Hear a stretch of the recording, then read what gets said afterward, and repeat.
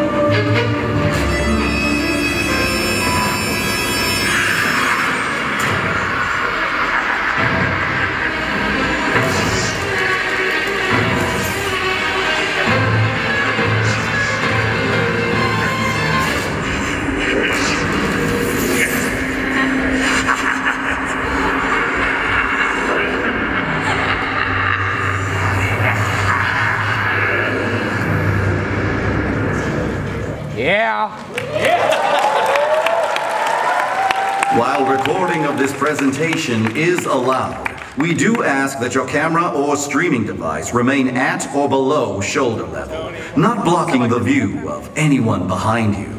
Thank you for your cooperation and for being considerate of those around you. Enjoy the show. Yeah. Yeah.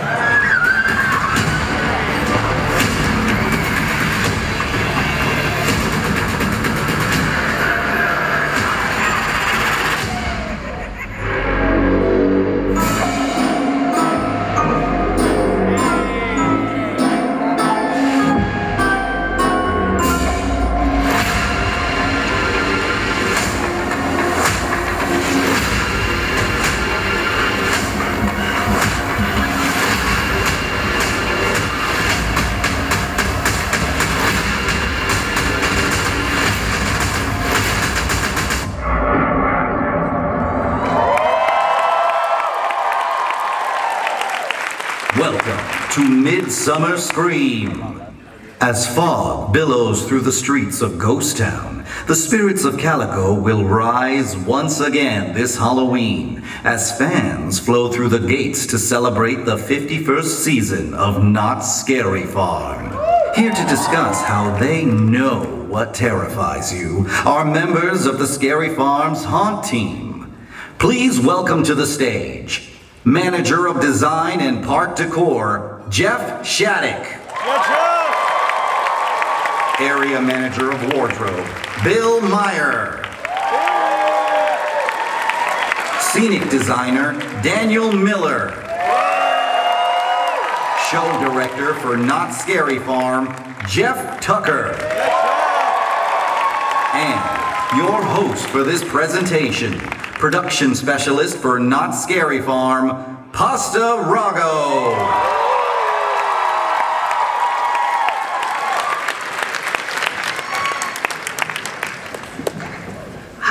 Everyone. Thank you all for joining us on this wonderful panel today. We are excited to show some things and talk about what we love about the fog. Uh, I'm going to go down the line and give some introductions. Uh, Jeff, would you feel free to start us off with who you are? Jeff Shattuck, uh, manager of Park Decor. Um, I have been at Knott's for, ooh, this is my 31st Halloween. I s- my very first year was in 1987. I worked in merchandise and I worked in the Tintype Gallery. Weird little story. And I took photos. First night of Halloween, I walked in with makeup. That's back when uh, all associates could make themselves up, come to work in a costume. And I had managers all night looking at me, staring at me, and I'm like, what the heck is going on? What did I do? I Thought I was gonna get fired immediately. And so by the end of the night, they're like, will you come in and do this every single night of haunt and take pictures with the guests? That was my first haunt. But I got let go on the last night of haunt because I had one more late than the girl, the, girl, the another girl. So Wah, wah. exactly, pretty much. Uh, and Bill. Uh, my name is Bill Meyer. I'm the area manager of wardrobe. I started in 1993, uh, hired into the wardrobe department. Um, that wasn't the job I was applying for at the time, but the woman saw my resume and said, well, I'm going to forward one over to the wardrobe department. They called me first. I interviewed the next day, started the next day. Uh, my first project, I think, for Scary Farm was uh, they needed somebody who was strong enough to cut industrial felt. And everybody else in the shop was like 30 years at least older than I was, didn't have the strength, so I. Wait a minute, Bill. I was working there, Soon after I started there, you came back.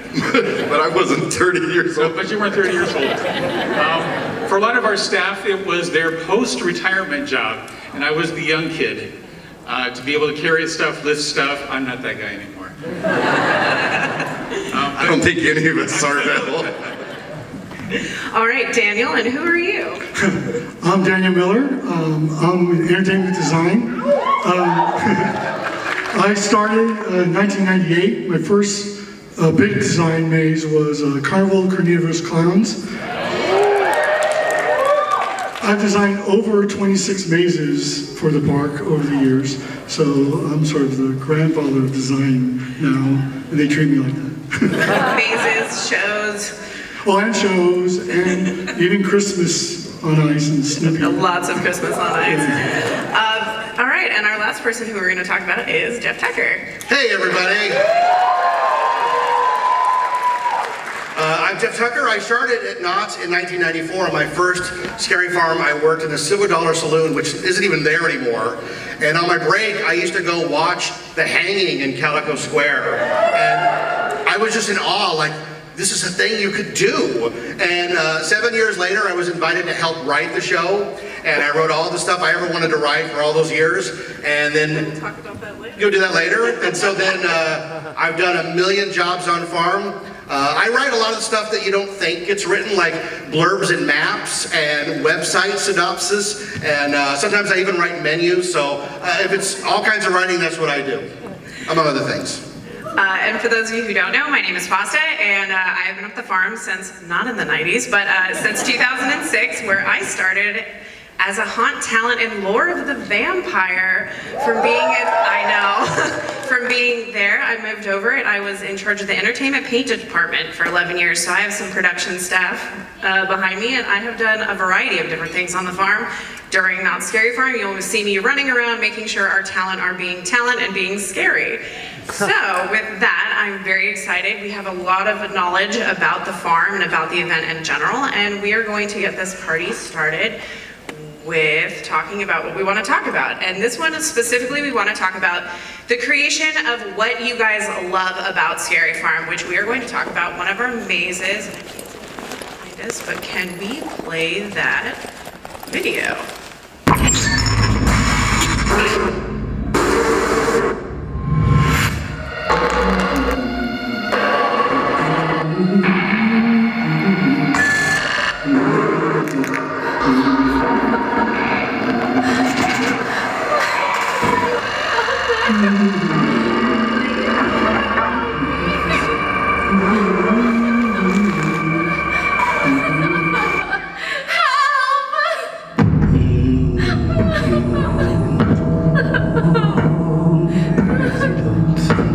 Oh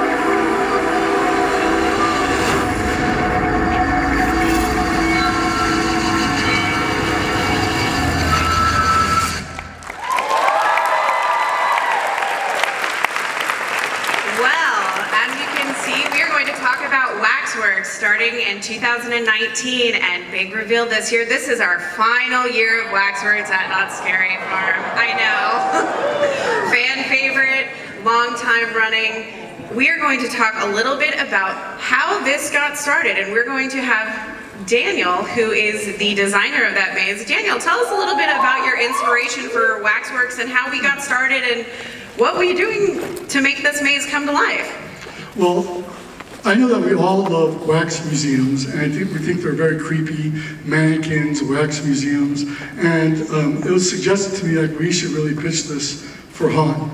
And even in, uh, this came out in 2018 or 19? 19. The pitch originally that you made for was in 2016, but And people don't know this, but we originally pitched it for the boardwalk area, um, for right where the arcade is. Because I the whole concept was this was an old wax museum on the boardwalk. But we decided to, uh, it moved twice. Once was in Wilderness Dance Hall, where we had, we were gonna make it all old Western Victorian wax museum. But then I really wanted the freedom to make it more 1960s, 1970s, and that's where it moved to its final position, which was in its, um, right now it's called Ghost Rider 1, uh, right behind Ghost Rider. Um, the, what, there's a design process that I go through, which is up on the screens right now, uh, which is, the first thing is we do is we pitch. Right around now is when we start to develop the pitches for the year next. So not for this coming hunt, but for uh, the next year. So our pitches usually start with a one-page pitch uh, with some research slapped together, and then we'll go to storyboards um, where we um, draw it all out, each room to room. And I'd like to go between the ground plan and the storyboards. So here's all my storyboards that shows all the different original artwork for the maze. I wanted to really create an environment that had this character that was kind of having a mental breakdown and um, wanted to go more than just the normal wax museum where, you see this at a lot of haunts where we do the statue scare where people are on a pedestal and they sit like rigid and then they boo scare you. Uh, but I really wanted to make it very twisted. What would make me scared? And I'm really into body horror, like, uh, the, the morphs and the, the, the animatronics of the people coming out of other people and Yeah. the, the people mending together. So when you're going, when you're looking at some of these, the, some of them, as you can see, you have the, the, uh, the spinning the spinning platform that has all the pieces on it. How did you come up with some of these inspirations for these specific horror type of I really wanted to give it like a modern art spin. I really wanted to have him think he is an artist and he's going to make these masterpieces throughout the maze. So I decided to make three major masterpieces that will go throughout. There's other better visuals of that. Um, this this goes right to the ground level. This is this is our bare bones minimal of what we do. Um, at, we use Vectorworks and we draw every room from a top-down position, every scare position, um, every prop we put in, and we color code it, uh, put all the walls in. Everything is based on this ground plan. Um, and it is the crux of how we will go back and forth. The next thing we'll do is lists where we bring in each of our departments because this is it's very critical. It's definitely not just me. It's the creativity of our entire um, department, which is props, lighting, Paint. paint, special effects. She led paint for several years. I did. Uh, this this ground plan is literally the base of Knott's Scary Farm of all of our mazes. This is how they are created and this is how they are produced. Everybody has one, whether it is the sound, audio, lighting. Anybody who has a field, this is what is going to bring your nightmares to life. Yep. So this is an example of our elevations and how detailed they get. So we put up the elevations, that's one of the masterpieces, it's a rotating stage uh, with skin. You saw that in the video earlier. We have our big facade that's crumbling and um, We definitely had the the Devil's Den facade for a second there too. If you guys remember that little prank we played on you guys from Ghost Rider. So each of these mazes have to have like a, a code name because the year before this, we had a couple of people kind of break, not break in, but they, they They looked at our plans through the city and we had to now change our name. So every maze has a, has a code name. So what we're saying is it's everybody's fault out there. Yes, not ours. We didn't do it. Uh, So- but This is the paint elevation. It's the, the type of stuff I will give over to the paint department with special swatches of each color. Uh, and we go into more detail of each elevation and break it down wall to wall. As you can see, each maze, uh, Daniel, you want to tell us about how you color coded it and what is some of your, like as you can see in the top corner, there's this giant portrait that is, tell us a little bit about how you have the storyboarding and what was your feel of your ideas through the maze when you're trying to go through, what are you trying to get, get the guests to get? Well, the first part of the maze is definitely uh, a replication of a waxworks that's been on fire and is burning down. We wanted to create different rooms that are iconic. We used to have up the road from Knott's Berry Farm, uh, Movie Land Wax Museum, and sort of, it sort of served as an inspiration for us. Um, and we put in a Patriots room. That's the background. Uh, George Washington uh, crossing the Delaware is that, that background. We have melted uh, wax figures uh, in, posed in there. So each of the three or four rooms, the first three or four rooms, are based off of a classic uh, wax museum. The rest of it is like the backstage where it gets very disturbing and dark, uh, where we go through a smelting room and we'll go through um, a sculpting room, and you get to see his uh, wax or his masterpieces on full display. So there's kind of two sides when you're looking at this maze and the maze design. You have the display pieces or the exhibits, and then you have the backstage where the real horror happens. Is that correct? Correct. We're gonna-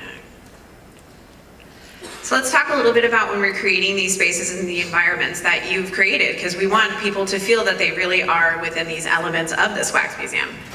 So this is an example of what our, uh, a lot of what our props team does. They, they mostly handle all the sculpture. So this, uh, this middle one is really disturbing. It's uh, our third masterpiece, and it's just, uh, I, I make a maquette for it, uh, which is like a small clay uh, sculpture in scale, and give it over to our sculptors. Our sculptor actually went above and beyond. He created this incredible moving masterpiece in itself. Um, we came up with the idea pretty late in the process. We were almost into like Bees. Yeah, for bees. Like, where does the wax come from? So we said, and what were people really freaked out by bees? So we said, hey, let's. Video mapping was kind of new at the time. It's like let's video map all these bees on this incredible sculpture of, of uh, that is kind of melted into this um, uh, these all these bees gathering. So.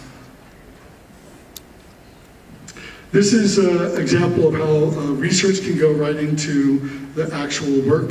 Um, this was my drawing for the candelabra character, which is the second masterpiece.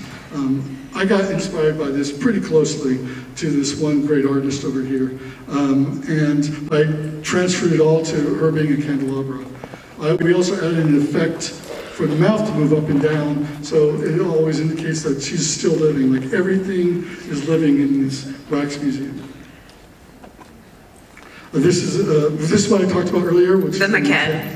Uh, so this is the original maquette and uh, the original drawing, which shows basically overall size. But I do trust our prop department to actually go above and beyond, and they do an incredible job of actually um, making the true horror of this. So So as you know that with, you saw a little bit about the mazes and how it is done.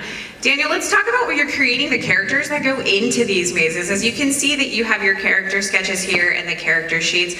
Tell us a little bit about, and Bill, if you wouldn't like to, if you would mind to touch in, is how do you create these spaces, them to fit within the environment? We talked about the maquettes, we talked about how people are always, the animatronics are always technically living, we talked about the bees, but let's talk about the, when we put the actors into the environment. What was some of your inspiration and how did they come to life? So what I learned when I did, uh, uh, I love this movie, Asylum, was I gave everyone a backstory.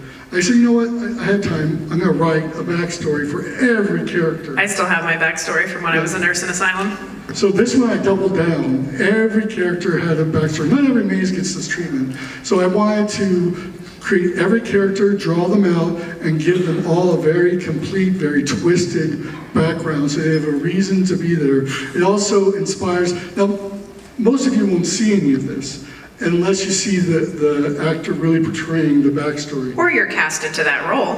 Yes. So the cast sees the backstory, they get all the inspiration, and then they can really feel what this what this is. We give them little sayings. Um, Basta's the one who, who directs many of them. I do direct them on what to say and what not to say. I'm sorry in advance, or I'm not sorry in advance, depending. And we try to be as twisted as possible. Uh, Bill, when you're creating these costumes and you're making the and you're talking about these characters, once Daniel comes to you with these original character sketches, how did what's some of the process that you go through to make some of these characters come to life? Daniel draws great pictures, um, but we had to then build it into something that could be worn. Some of the things he draws. anyway, um, we, we then had to go through, uh, we removed, like on the first guy, the curator there, we love the idea of the mask and the bandages, but the, the things that where his head was originally so this isn't realistic. Nobody will keep this job. They'll quit. We'll have to recast this every single night. So we, that was one of those things that we, we took away from that. Uh, we take his ideas and his images and use these for our inspiration as to what we're going to build. Again, it looks great on the page, but these people have to wear this costume for eight hours a day, 30 nights a, a month, you know what I mean? So- 10 hours, 8 hours a day. And it has to be launderable. Yes, we do wash our costumes. I'm May not not scary smell like the it smell when you walk not through the page, but okay. yes, we do launder those. That's a different kind of scary. Agreed. It is, yes. Live in that warehouse With the like my department does. That's At fair. the end of the night, you open the door in the morning, and it's like, whoa. And the more humid it is, the worse it is. Yes. Yeah. Uh, but yeah, so uh, not only do the costumes, they have to be functional, right? And so your part of your challenge is to make sure that the talent are comfortable, they can scare in them, and we still want them to be, look creepy and scary. Correct. Um, a lot of these things we, in my shop, we source, we built from scratch. Um, thankfully, you know, there's a lot of people who just need pants and shirts. I have pants and shirts because in addition to dealing with costumes, I also deal with all the uniforms for the park. So we were able to take some old shirts, old pants, uh, dye them, distress them into making them into look bad. The Marilyn dresses we had to build from scratch. That's, yes, we do. We make them look bad quite often. We, we had a woman that joined my department years ago, and then she built something and was heartbroken when we had to then trash it. She didn't understand, what, she'd never been to Scary Farm before, she didn't understand that we were going to take her pride, her joy, and and trash destroy it. it. Yeah. Um, and then she did it, and she saw, oh, it's cute. I guess she didn't know what word to use, but she was proud of it. But then when she saw the big picture, her part of the story, she really appreciated being able to do that. And that's really what all of the costume designs, the element is. We're trying to tell you guys a story, and so you can really like live in that environment. When you walk into that dilapidated, burning building, we want the characters to fit within the realm. So unfortunately for the person who made that costume, it would look a little weird if the white Marilyn dress was just in this burning building. Um, One more thing, sorry. And then, real quick, we have to go back and then make sure that this maze looks different than all the other mazes. One thing we did for Waxworks, this was a great picture to here to show it. Uh, he talked about the bees, he talked about the beeswax. We went through and overdyed everything in a light yellow. Basically to give you that idea, you may not see it, but we had to make this maze stand on its own. We had to, I mean, what's the point of having, what, 10 different mazes if they all look alike? or black and Right. gray. And yeah, that has a, gray, it has a different feel to it. Each one has to have its own feeling to it. Uh, it, it can't look like a hand-me-down, it's gotta look original, it's gotta look unique on its own. Oh, I went backwards. There we go. Daniel, with the final with the final year of Waxworks, can you tell us a little bit? Uh, as you all know, in video games, we're all video game people, or hopefully, or comic book. We love a good Easter egg here. We hide Easter eggs throughout the park. Throughout all of our venues. Daniel, would you like to tell us a little bit about the Easter eggs that people can look forward to in the final year of Waxworks? Sure, most of our Easter eggs revolve around them linking to either other mazes or, um, so th- this first one is the woman dipped in wax. She came straight from one of, uh, one of my favorite mazes, Doll Factory. So, yeah, I mean, the, mo- the model, everything. I think we may have added the tutu. I was gonna say, I think everything about that, about that figurine in the smelting room is pretty original minus the tutu. I think the tutu had to be replaced, but every, that is straight out of Doll Factory. We have an entire prop warehouse that has tons of hot knowledge. Um, next to it is the maquette for the first masterpiece, which is, um, it's kind of fun. It now lives in the layer room where uh, the, the um, it's like right before the doll factory room. Um, so if you, you can find, it's hard to see, but it's sort of tucked in the back by his toilet. His, his living quarters. Living quarters, yes, thank you. Um, the, first, the next one is dolls that actually existed in our Pinocchio Unstrung maze. We have this little marionette um, theater that is like the first turn you get to see. Those were from the Pinocchio Unstrung maze. And the last one's more of a funny story. Um, Daniel, tell us why that man is in that position. That's a model of me. No, I'm just kidding. um, no, no, no. We got this body the night, like a, a day before we opened. So we've quickly shoved it into place. This was in one of the wax. Um, This is near the exit. correct. And uh, it was completely naked, anatomically correct.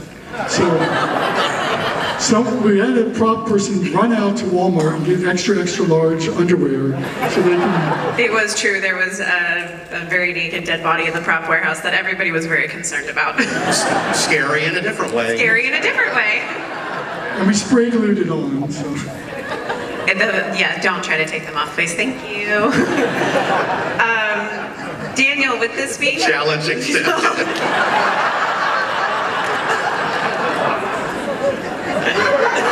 don't do it, please. Weird. Uh, it's going to be one of those new things. It's like you know, some people try to steal the apple from Disney. And it's going to be trying to get the underwear off the guy at Waxworks. Oh, security's gonna kill me for this. uh, anyways, with the final year of Waxworks, do you have any final thoughts about the venue, Daniel, and things that you would like to say to the, the group about seeing it for the last year of the fog? Just go enjoy it for one last time. I mean, I, I think I've been really creeped out by it. It has a great atmosphere. Um, oh, this was uh, sorry. I mean, this is uh, they asked about what how do we update things. This actually was updated last year, and we had a character by the name of the Collector who gouges out eyeballs and hangs them up. So we modified our um, Chamber of Horrors to be to include this character. Yeah, this used to be just, uh, you The- walked by and saw monsters It was the invisible, the invisible Invisible man, Man. and the wolf man. Uh, so we did add an addition to the maze to send it off last year, knowing that it would be its final year. We try to give the, all of our old mazes or our returning mazes some love, regardless of how many years they are with the fo- what- We try to give them some love every year. And you're next. Sorry, surprise. Um, uh, but yeah, it's Jeff. Uh, but Daniel, is that? Do you have any other final notes for the group? Just go and enjoy it. Have fun. So yes, please come and see Waxworks on its final year in the fog, and um, please don't try to steal the underwear off of the dead guy. That is all I have to say about Waxworks this year. You- just created a TikTok challenge. I am so sorry, marketing in advance. Um, I see a blackout standing by that character this year. I know, right? That's going to be a new blackout position. We'll be casting that if you uh, want to come. So now that you learned a little bit specifically about one of our things that make Knott's Scary Farm special, our mazes, we're going to kind of go into an overall about the park because not only is do we have mazes, we have street zones, but our park is very much part of our history here at Scary Farm. And uh, we're going to talk a little bit about some of the things we do at the park, and that will lead me into Jeff Tucker in the history of entertainment. Hello. So Jeff, you've been with the farm for, as we know, a long time. How many shows do you think you have written for Scary Farm alone? At least 50. At least? At least 50, yeah. Because there's always something to write, all these different tiny shows that we've done. Uh, I even wrote a show that never performed, which I thought was great. We did a show in 2012 called Mephisto's Mechanical Mayhem, where the whole gag was, Was they the per, the performer dies? he, he dies right before the show starts, and people would just get mad that they waited for a show that Oh, I'll never never happened. forget that. Yeah, people would wait for. It was on the map and everything. People would wait for a show that the performer died That in. was very funny. Thank you. So yeah, I've written a bunch of shows. Uh, I started working on The Hanging in 2001 as a as a, a, a writer who just added stuff. Uh, there was already a good team in place, but I just added my two cents, and I did that for 10 years. And then I moved on to all kinds of other things. I've written shows for Birdcage, uh, Professor Freak's Funhouse, Dr. Cleaver. Uh, I did three shows at Mystery Lodge, Unearthed, Possessed, and uh, uh, Invitation to Terror. So yeah, I'll, I, and Scary Farm is about this whole experience, right? You you go thinking you're I'm gonna hit all the mazes, then you like you see a show, and when you get home, the mazes and the stuff that you wanted to see were great, but the stuff that surprised you that you didn't know, that's the stuff you really remember. I wasn't expecting that. You were uh, usually that's where the fun is usually at, is it's the least expecting. Um, so last year, speaking of unexpected returns and things, we brought back the hanging. So bringing after we had killed it off. I know. Uh, we killed off the hanging and we brought it back. Can we talk a little bit about the history of killing the hanging and bringing it back and resurrecting it in Wagon Camp?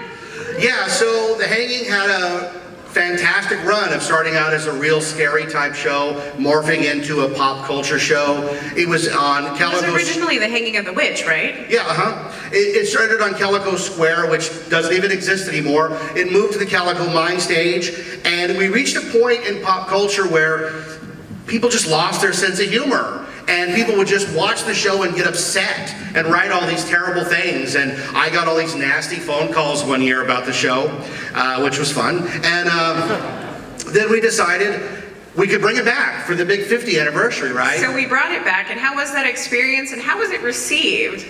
Uh, it was fantastic, I'll tell you. Uh,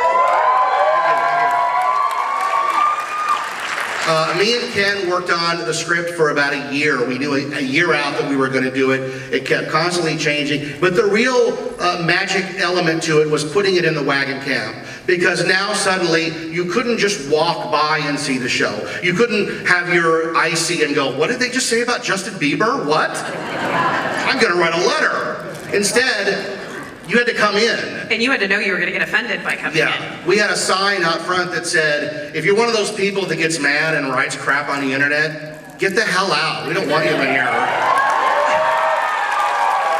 would actually like to let you know the sign got a guest complaint. I know because I got the email about it. So we most certainly did get guest complaints about the sign. But I'm upset. This this ice cream is cold. It It was too wouldn't be scary. Scary Farm if we didn't get complaints. you're not wrong. Which was ironic because last year, uh, the show had a specific script, and then we did our preview event where the noose dropped out, and I stood on the stage and I watched people just go crazy that this show was back. It definitely was a fan favorite, and to watch it come to come to life was really exciting. So, I mean, we went back immediately and we wrote a new ending, and the original hanging victim was thrown out, and instead we hanged Karens, and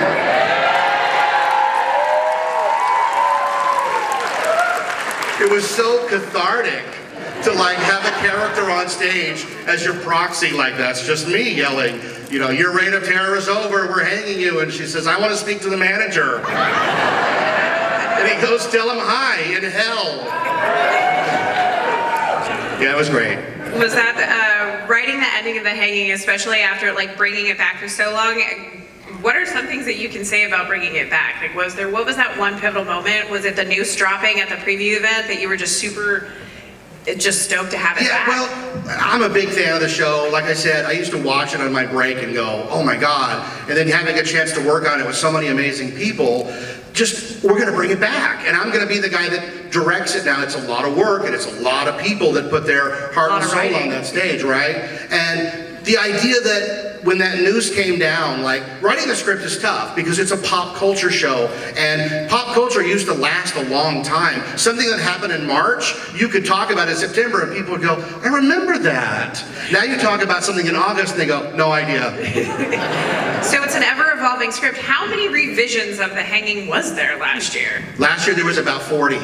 40 different scripts with all, and, and each one of those had a different plot, a different idea of how to bring the hangman and the lawman back. Uh, there were all these different ways we were going to do it. We were going to have the, the Doctor Strange circle open up and they jumped out. And uh, finally we decided they were just in storage and they came out of storage and that was like the, the magic moment of like, this is going to be really great. Uh, We do put a lot of things in storage, so I guess it would kind of fit sense that we would put the hanging in storage too. Put it in Uh, storage. And and the best part, if you remember last year, we didn't even use a noose. There was not a noose ever on the gallows. Instead, they used the no boo necklace. We can make fun of ourselves too. Um, one thing that I thought was very uh, admirable about the hanging last year was all of the amount of the set of the hanging from last year for the 50th. Some of those were the real maze signs from the old venue. So we definitely pulled it out storage. So I guess it would be fitting that the hangman did come out of storage. yeah, that it was year. great.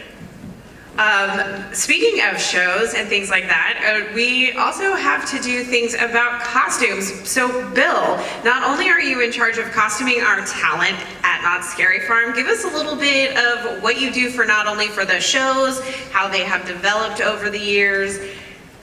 Because you not, I'm a, you not only did the original hanging costuming, you had to do the hanging this year on top of all of our 10 mazes, on top of our, our five scare zones, and Okay, all when of she our says shows. me, she's she's talking about my staff. She's not talking about me. Um, Not, not him, his team. My team, there we go.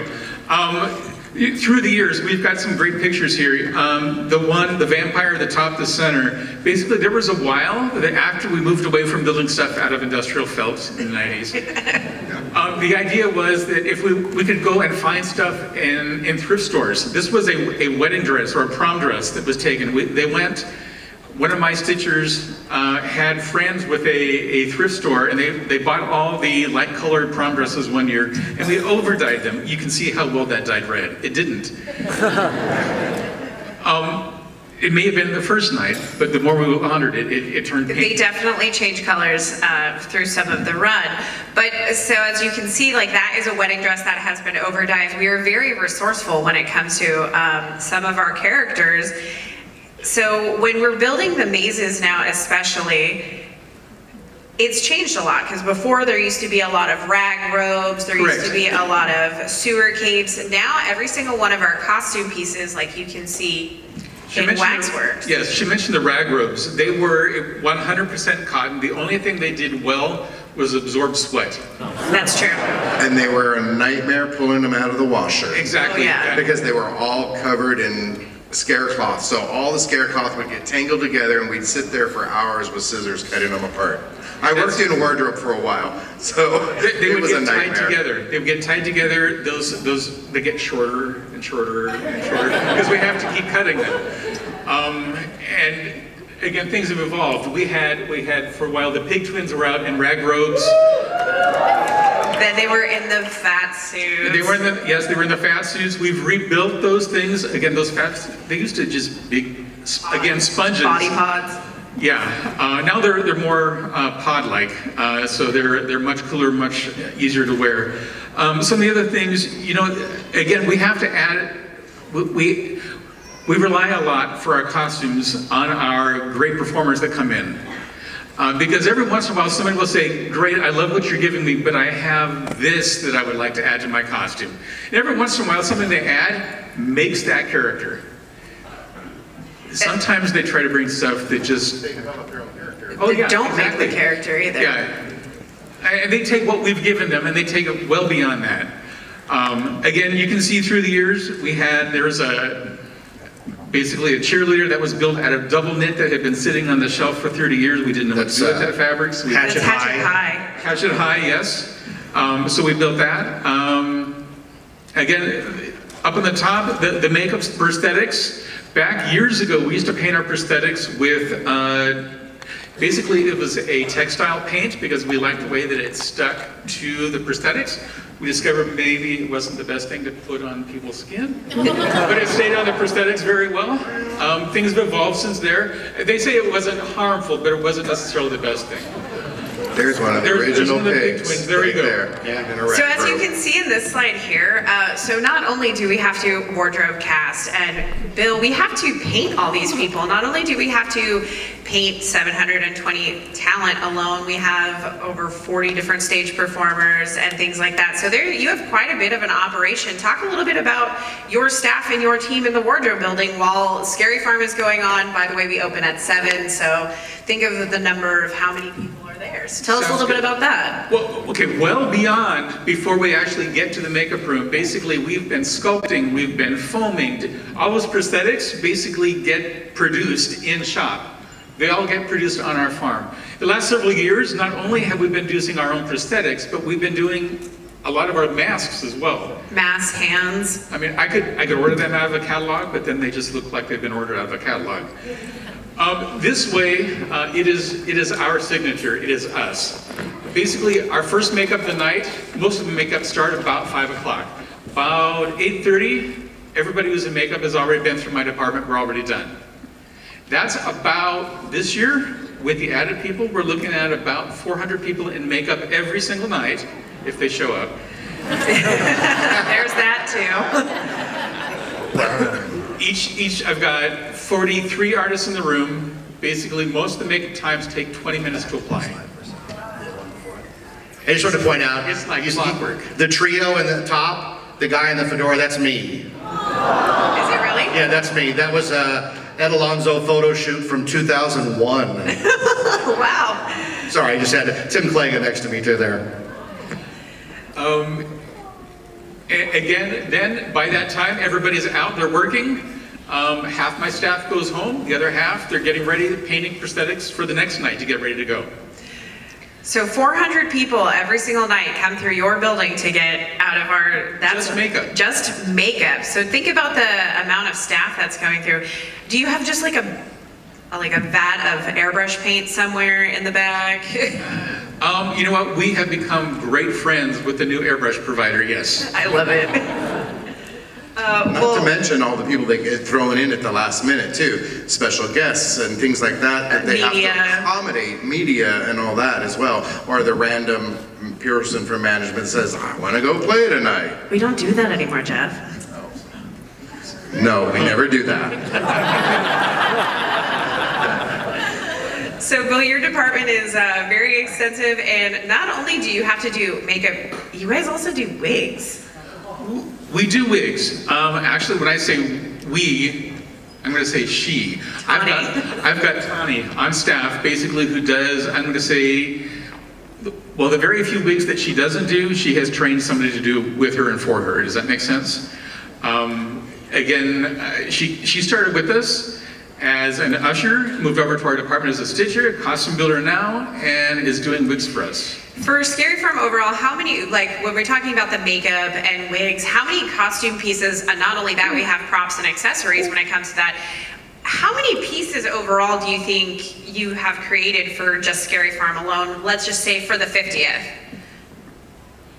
This is big math, sorry. Carry the one.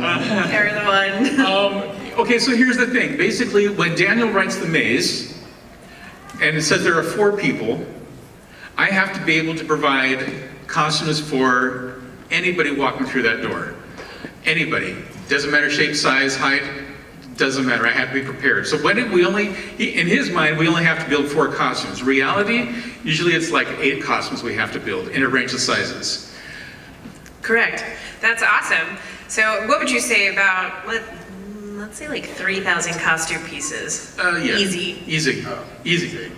Um, we've got costume pieces that we have built when we built that maze. Again, that maze may have, you may only see 20 people in that maze. We've, there are 40 people working in that maze, but we've probably built 80, 85, 90, maybe 100 costume pieces. And then not only when you guys are building it, sometimes you have to make additional Duplicate. backup For the costumes. props. For the props. props, Yeah. and also make additional backups because you're designing the maze one year, that same fabric might not be available in two years. Correct. If the maze is around that long, so they're making extras and not to mention all the backstop of fabric you have. We basically, when we, when we're building these costumes, we're looking, we make sure that we've got enough supplies on hand to be able to replace this for the next five years at least.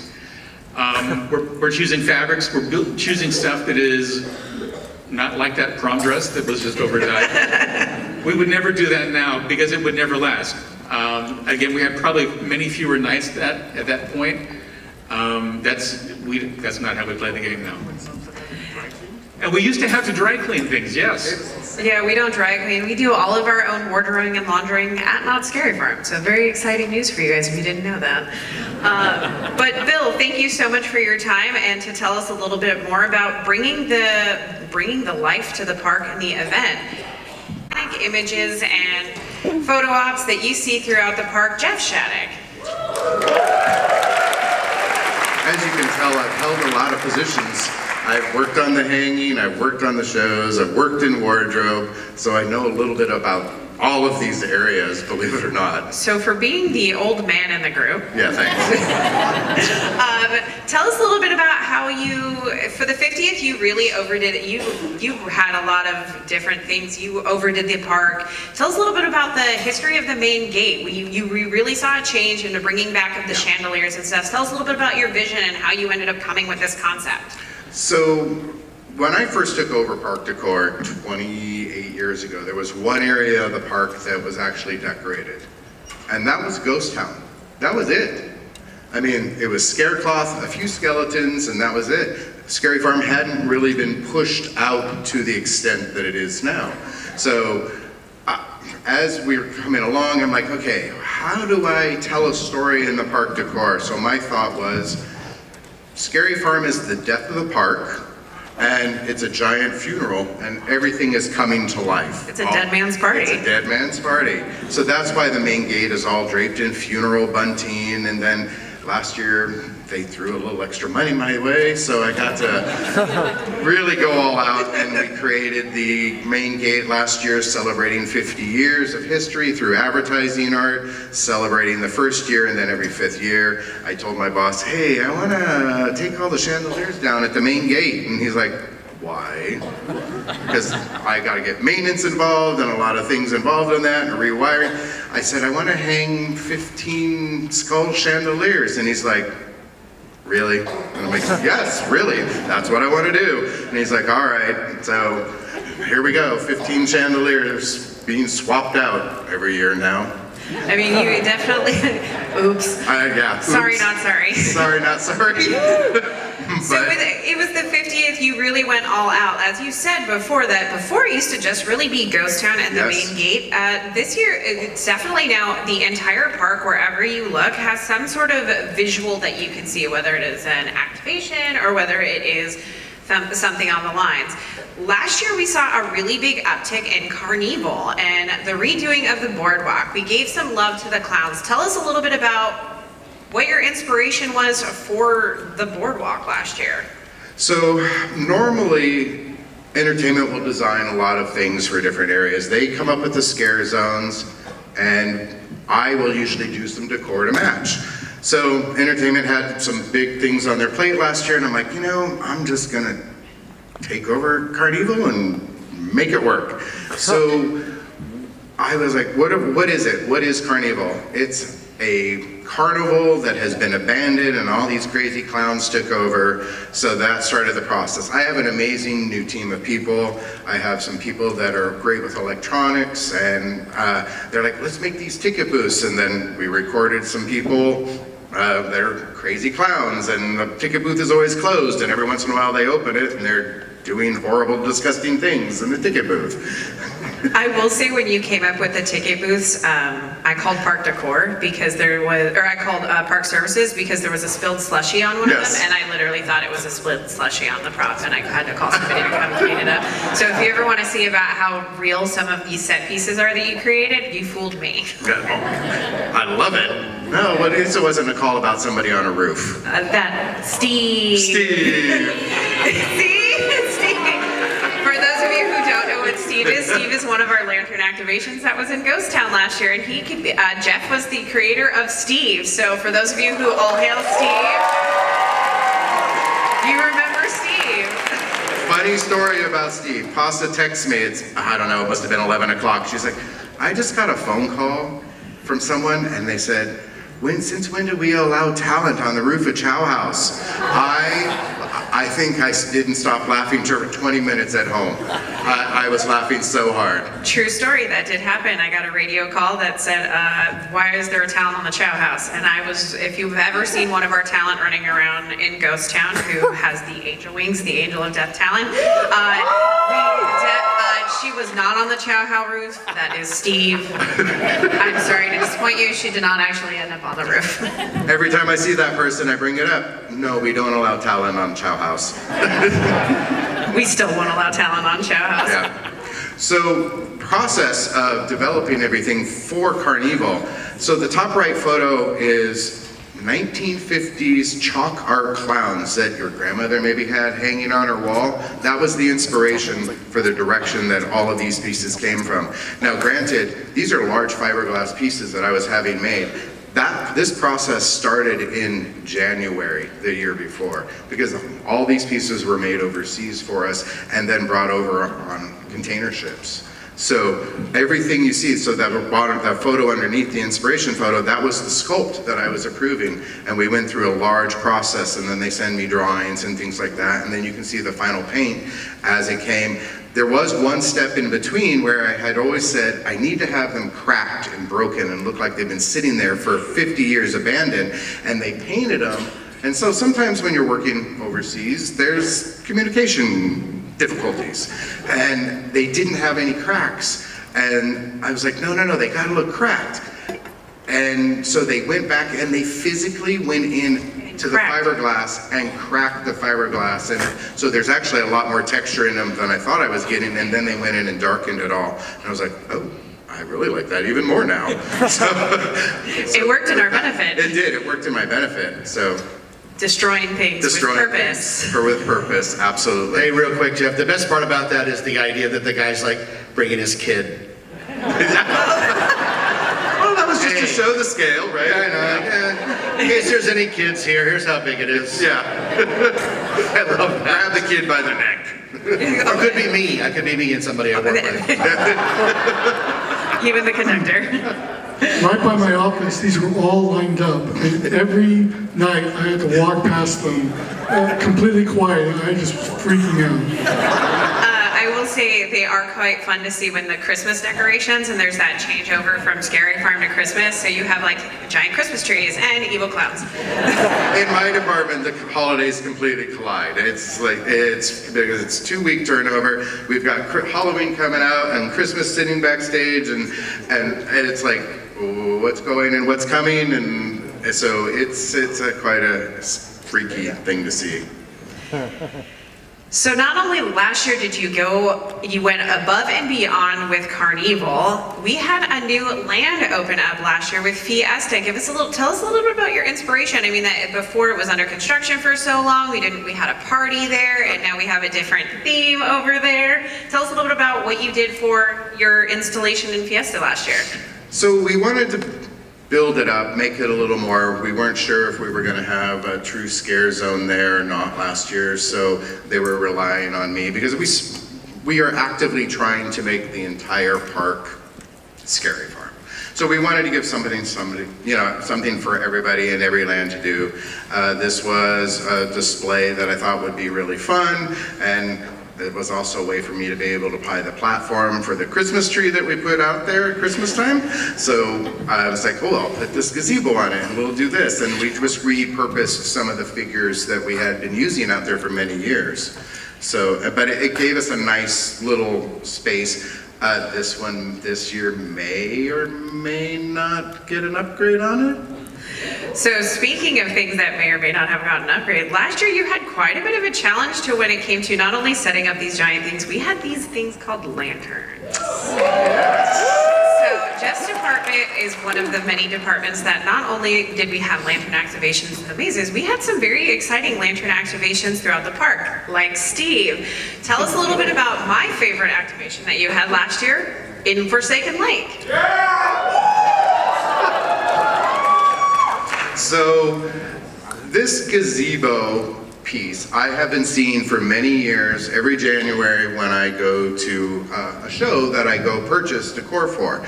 And I kept seeing it and seeing it, I'm like, I wanna buy it, I wanna buy it, I wanna buy it, what am I gonna do with it? When I thought, oh, lantern activation, oh, my gazebo. So I'm like, I wanna buy them, and so I bought them immediately. I didn't know exactly what it was going to be, but then it turned into what it is. It was actually funny. Daniel heard that we were doing a piece because things were moving very quickly last year to figure out all this fast. lantern stuff. And he's like, what are you doing in Forsaken Lake? That's my area. I'm like, don't worry, it'll fit in perfect. It's gonna look great. And so he's like, okay. So I have someone on my team who is amazing with electronics and he's like, let's turn it into a lantern activation. So it just grew and grew. Um, it may or may not be getting an upgrade this year as well. It's pretty know. soon gonna be the entire zone. I can see it now. For walk through Forsaken Lake, Yes. the lantern activation. So, and, and we just, I, I like to just make an entire environment in our scenes, like the main gate statement, the Forsaken Lake statement, the bigger, the better. The bosses look at me and go, you need how much to do this? And I'm like, well, come on, it's gonna be great. Well, I mean, you're turning over the entire park, not only, or Right. we, we can't be, it has to be spooky all the year round. And it has to be guest friendly during the get, the, den- the The- guest facing. that is always a challenge for me because everything I do has to play at night as and during the day, so it's not too scary for young kids. Hey Jeff, I saw this uh, piece backstage for a long time, Yeah.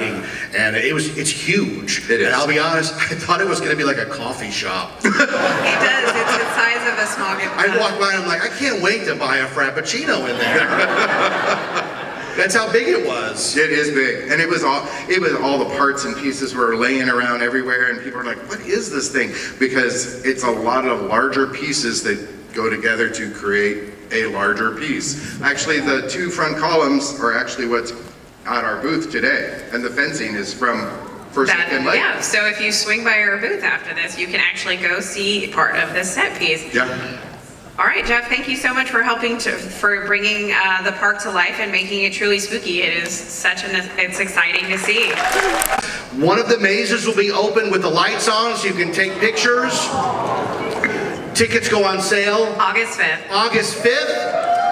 And to make it really cool, they're not going to sell a lot of tickets, so it's not going to be crazy busy. It's going to be just busy enough to be badass, right?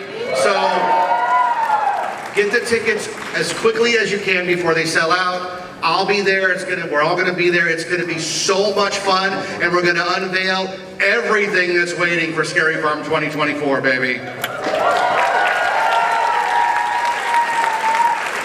All right, and with that, I would like to say thank you guys for joining us for the Knott's Scary Farm panel this year, and hopefully we will see you in the fog. That's right. Pasta, everybody. Nice work.